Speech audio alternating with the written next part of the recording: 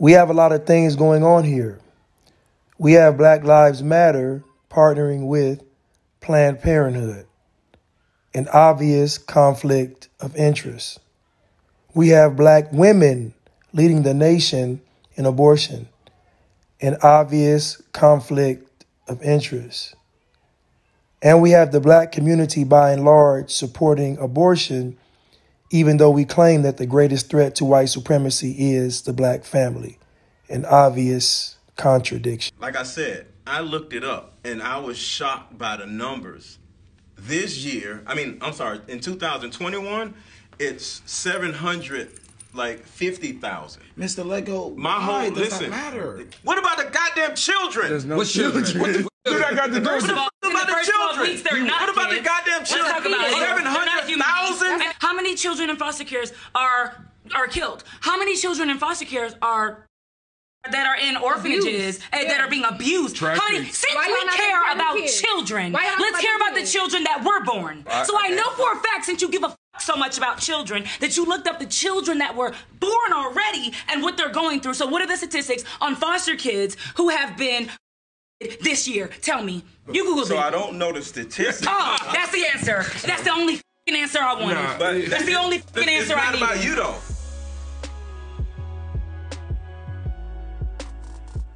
What the about the first 12 children? weeks, they're not What about the kids. guy? In What the about the first 12 children? weeks, they're not What about the kids. guy? What about the children? weeks, they're not What about the kids. guy? And I've been telling you all all this time that to be black is to be controlled. So if you think about it, if they tie your blackness, hear me out. If they tie your blackness to these agendas, then that means in order to be black, you'll have to be a part of these agendas. That's going to be climate change. That's going to be the trans movement, LGBTQ movement. That's the Democratic Party. That is every agenda that's detrimental. They're going to tie your blackness to it. It's no different than them telling you that you got to get this snake bite because you got to save Big Mama and them.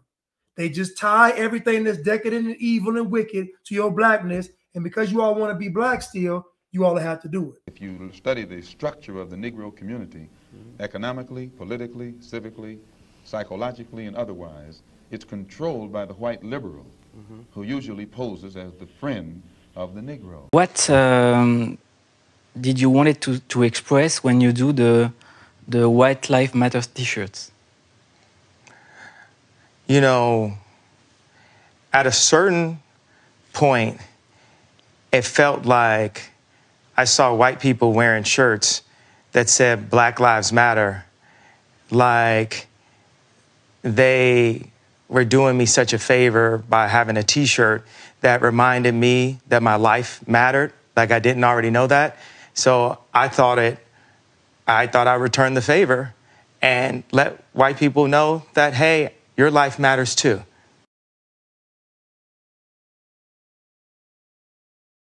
The lanyard's still on from it, and there's a photograph on it. What is that?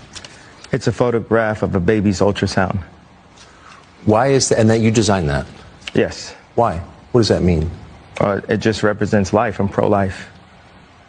Boy, so you wear it on a badge. What what kind of response do you get? And and good, amen. I agree. I don't care about people's responses. I care about the fact that there's more black babies being aborted than born in New York City at this point. That 50% of black death in America is abortion.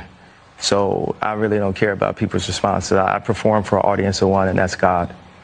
Stacey Abrams said, if you want to abort your baby, vote for me.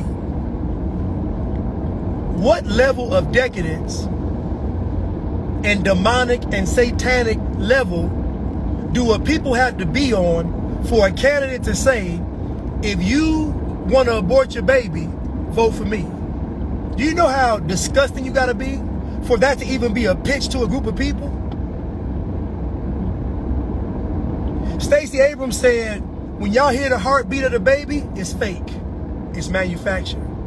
What level of sat- Satanism and demonism is going on for Stacey Abrams to try to get you to believe that the heartbeat of your baby is fake? That's a demon talking. That is Satan talking. But guess what? Y'all gonna vote for.